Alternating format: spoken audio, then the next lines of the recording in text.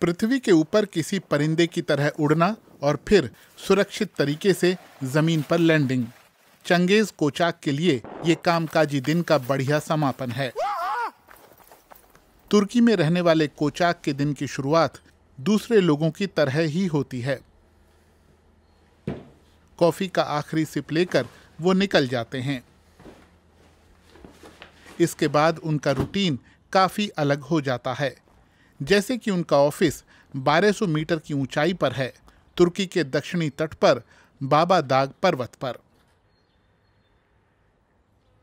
वहाँ cable car से जाना पड़ता है। इस तरह की ऊंचाई पर जाकर हमेशा कोचाक रोमांचित हो जाते हैं।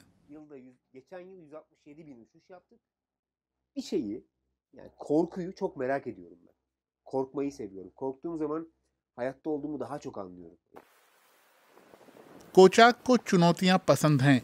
जब वो तुर्क सेना में पैरा ट्रूपर के तौर पर काम करते थे तो उन्होंने बेस जंपिंग सीखी, विंग सूट के साथ और उसके बिना भी। वो तुर्की के उन चंद लोगों में शामिल हैं, जिन्होंने इस बेहद चुनौतीपूर्ण खेल में महारत हासिल की है। कोचाक काम पर पहुँचते हैं। वो बाबा दाग केबल कार के मैनेजर हैं। अपनी डेस्क के पास वो अपना विंग सूट लटका देते हैं। फिर उनके दिन भर के काम का इस मुश्किल खेल से ज़्यादा लेना देना नहीं होता। उनका काम है केबल कार के टेक्निकल सिस्टम की निगरानी करना, साथ ही वो पैनोरामा रेस्तरा और नज़ारा देखने के लिए बने प्लेटफॉर्म पर भी नज़र रखते हैं। आठ घंटे काम करने के बाद अब बारी आती है घर जाने की।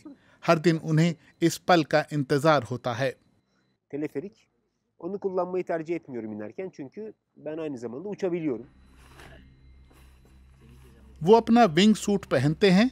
विंग सूट इस तरह बना है कि ये हवा में स्थिर रहने में मदद करता है। खास ट्रेनिंग और अभ्यास के बाद ही आप इसके ज़रिए उड़ पाते हैं। फिर कोचाक अपनी बाहों को फैलाते हैं और 180 किलोमीटर प्रति घंटा की रफ्तार से घर की तरफ़ निकल जाते हैं। उनका घर तुर्की के सबसे सुंदर बीचों में से एक ओलू डेनीज के पास है।